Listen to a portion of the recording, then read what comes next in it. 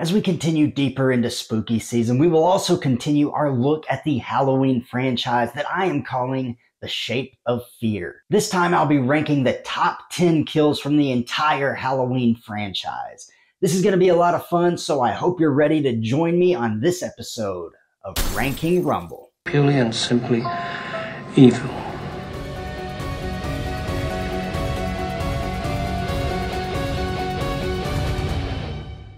Welcome back to WWH. My name is Andrew Dreamer. John Carpenter's original Halloween from 1978 is not known for over the top kills or even gory kills. It is known for its atmosphere. The kills are about the tension this atmosphere creates. You don't need to see a ton of blood or extreme violence for them to be effective. And I love the fact that they chose to do it this way. That being said, it's a well known fact that I love gore in my horror movies. I love the violence. So I do also appreciate the versions of the shape that have that Bruiser Brody level of aggression. Obviously, Michael mainly uses his trusty knife for a lot of his kills. He's like Mick Foley with the barbed wire bat, but he's absolutely not afraid to use any weapon that he can get his hands on. And this has given us a myriad of creative kills to choose from for this list. The way I'll be doing this is I will give you the name of the person killed and which movie it's from. Now, before we get going, go ahead and let me know down in the comments which kill from the Halloween franchise is your favorite. On that note, it is bell time, so grab your popcorn and make your way to your seat. Let's head down to the ring. Starting us off at number 10 is Michael Myers from Halloween H2O. That's right, the shape himself is kicking off this ranking rumble. And I know what you're thinking. Andrew, Michael doesn't actually get killed in H2O. That ended up being some paramedic that he switched places with. Well, you know how, for the purposes of WrestleMania 3, Hogan and Andre had never wrestled before, even though they had wrestled hundreds of times before. Well, this is kind of like that. For the purposes of this video, H2O ended the way it was intended to with Michael actually being killed. But the reason this kill makes my list is because of the pure shock and intensity behind it. We had never seen the shape so definitively killed before, and it was truly jaw dropping. There's also that bit of emotion where he reaches out for Laurie for that split second, and it seems like Laurie is even feeling the emotion too, but it's not actually the emotion of, this is my brother. It's the relief coming over her that she knows this is the end of all of her suffering. Then comes that sting, and she chops his damn head off with the axe to take us home.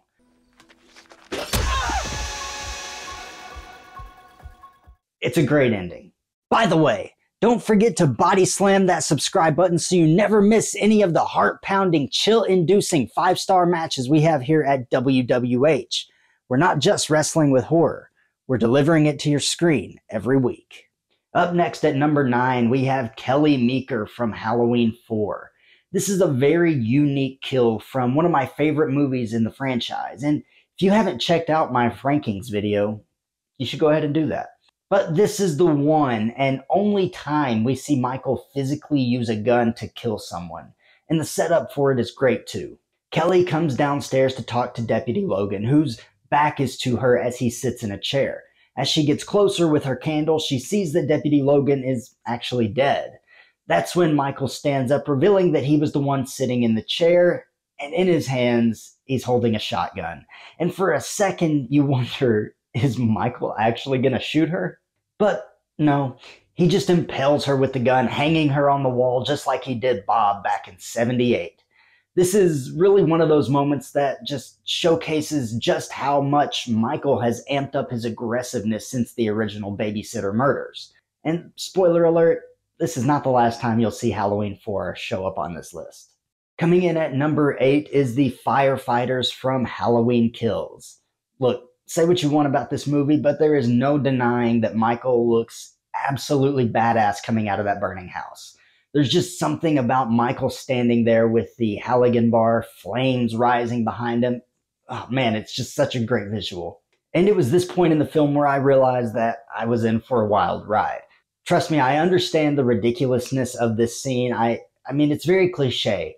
All of the firefighters come at Michael one at a time and he just runs right through them. But I can look past that. It doesn't really bother me if I'm being honest because of the sheer brutality of the scene. I mean, Michael kills a few of them with the Halligan, even lifting one of them up in the process before disposing of the body.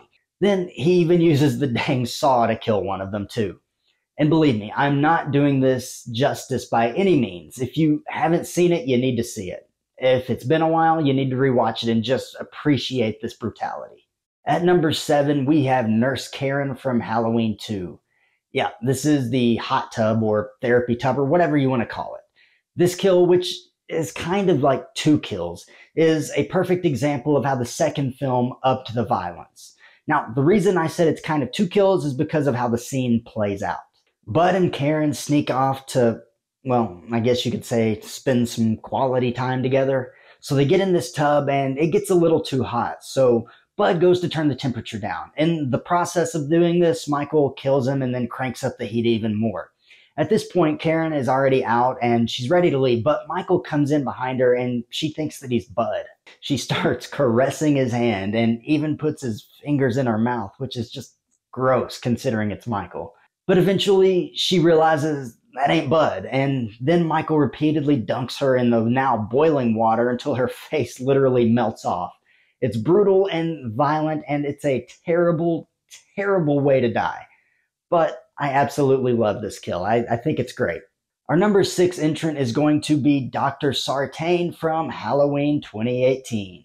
To be perfectly honest, this one's here because, well, I was just glad to see him gone. I despise the twist with his character. It accomplishes nothing other than getting Michael to Laurie for that third act fight. And there are a lot of better ways that they could have accomplished that. Even beyond that, I do not need nor want to see anyone but Michael wearing the mask. Maybe I'm being too harsh, but it really bothers me. He wants to be Loomis so bad, but he completely misses the point of everything Loomis said about Michael. He wants to study why Michael kills in person, and he's desperate to hear him speak. Pretty sure his last words are, say something. Not to mention the fact that he stabbed Will Patton in the neck with a knife pin. Obviously, we know now that he survived, but at the time, everybody thought he was dead. I have never been as happy as I was when Michael squashed his freaking head like a pumpkin. Get that guy out of the movie, and let's never do that again. Coming in at number five is Nurse Jill from Halloween 2.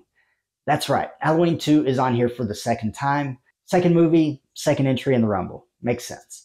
This one may not be as brutal as some of the other kills on this list, but it's absolutely iconic. Probably one of the most iconic deaths from the entire franchise, to be perfectly honest. It's actually kind of a bit of a continuation of the Bob kill from 78. At least that's how I see it. Basically, you have Laurie running through the halls of the hospital. Nurse Jill then sees her, but Michael comes up behind her and stabs her in the back with a scalpel. He lifts her up off the ground, and I can already imagine the amount of sheer pain that she must be in. But see, that's just part of what makes this iconic. The other part, when she's in the air, her shoes fall off of her feet and just clank onto the ground. I know it seems really simple and maybe not that effective, but Michael essentially lifted this girl out of her shoes with a damn scalpel.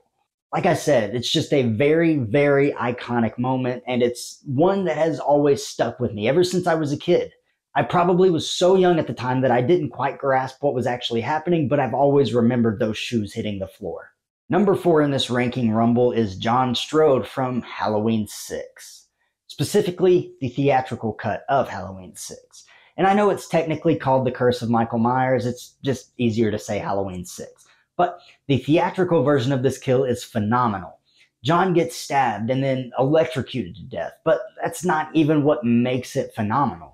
Dude starts foaming at the mouth, his skin starts cooking, and then his freaking head explodes. Sure, it may be a little over the top, but it's so good. The producer's cut doesn't have the explosion, the foaming, or the burning skin. He just gets electrocuted to death and they leave it at that. I'm sure you can tell why I chose to go with the theatrical version here. Coming in at number three is Cameron from Halloween Kills. That's right, Halloween Kills is on here twice too, but hey, there's a lot to choose from in this movie, so of course there's probably going to be a few that can make the cut. And this one is the best of the entire movie for me. Now, in 2018, Cameron is not the best person. He's actually a pretty big jerk to Allison. But throughout Halloween Kills, he has a bit of a redemption arc. He gets Deputy Hawkins' help and basically saves his life.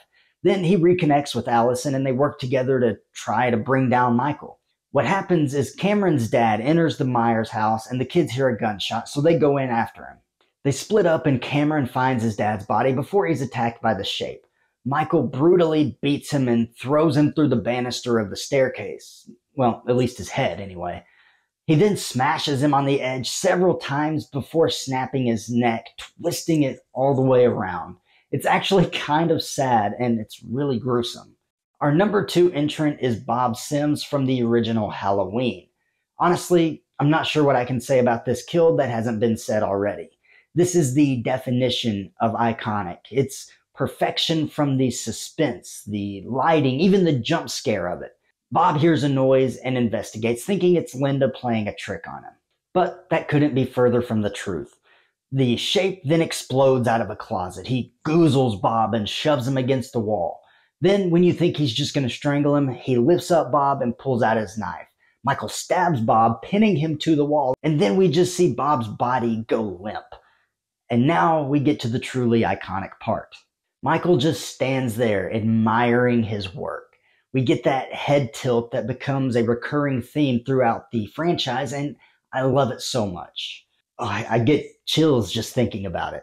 This is why I love Michael Myers. Moments like this are why I love the franchise. It really doesn't get much better than this, but there is just one that I like a bit better. Our final entrant today is Earl Ford from Halloween 4. I told you you'd be seeing this movie show up again. This one's actually kind of the whole sequence, not specifically just him. Earl is leading a group of people out looking for Michael, a bunch of Illinois boys out with guns. They pick up Jamie and Rachel and decide to get them out of town, but of course, this doesn't really go according to plan. Michael somehow hangs onto the bottom of the truck and then he climbs up where he absolutely demolishes the guys in the truck bed. And then he's not even finished there. He busts through the driver's side window and he rips Earl's throat out. I mean, he literally grabs this man by the throat and rips it out. I really love this entire sequence of the movie. It's a huge part of why I love the movie so much, too. This perfectly encapsulates Michael's increased aggression in Halloween 4. It's like he has even more pent up rage than he did in the first two films. I mean, I guess being asleep for 10 years could do that to you. But that is why I think this is the best kill from the entire Halloween franchise. And there you have it. Those are the top 10 kills from the Halloween franchise, according to me. Put your favorite kills down in the comments and let me know why you like them. If you're interested in Redcon One products, I have a discount code that you can use to save 20% off of your entire order. Be sure to check that out. You can also find all of my merchandise available at prowrestlingtees.com slash Andrew Dreamer or even down below this video on the channel. I have been also reworking the WWH Patreon page and I've been updating some things on there. So go check that out and consider joining us over there, or you can join the memberships right here through YouTube. All of the links are down in the description below. Don't forget to like this video, share the video, and subscribe to the channel so you never miss any of the action here at WWH. Now that we've talked about the best kills in the Halloween franchise, how do I rank the movies? Luckily, you can find out by watching the video that's appearing on your screen right now. And remember, in the squared circle of horror, there are no countouts for nightmares. My name is Andrew Dreamer, and this is Wrestling with Horror.